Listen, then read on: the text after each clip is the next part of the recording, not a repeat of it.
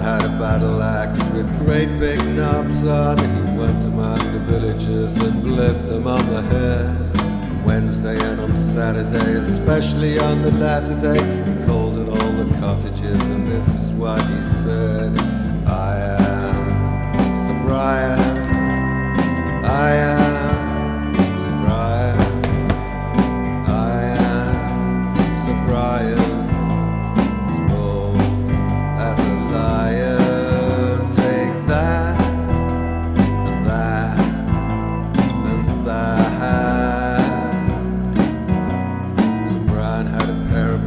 with great big spurs on, fighting pair of which he was particularly fond.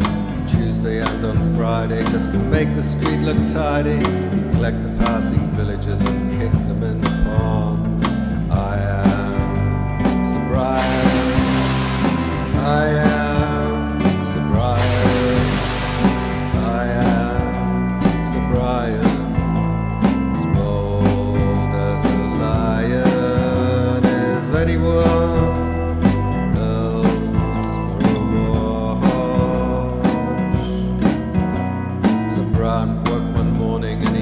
Find his battle axe. He walked into the village in his second pair of boots. He had gone a hundred paces when the street was full of faces. The villagers were round him with ironical salutes. You are Sir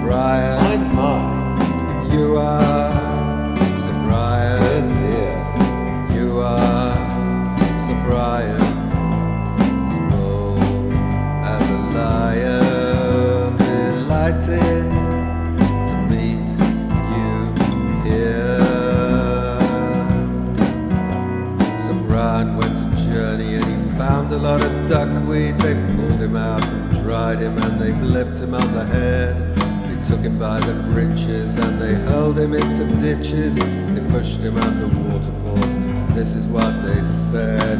You are Sir Brian. Don't laugh. You are Brian. Don't cry.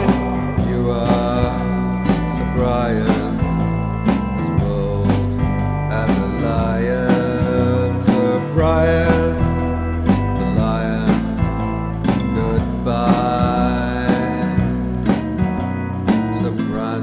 home again and chopped up his battle axe. Sir Brian took his fighting boots and threw them in the fire. He is quite a different person. Now he hasn't got his spurs on and he goes about the village as the Botany squire. I am Sir Brian.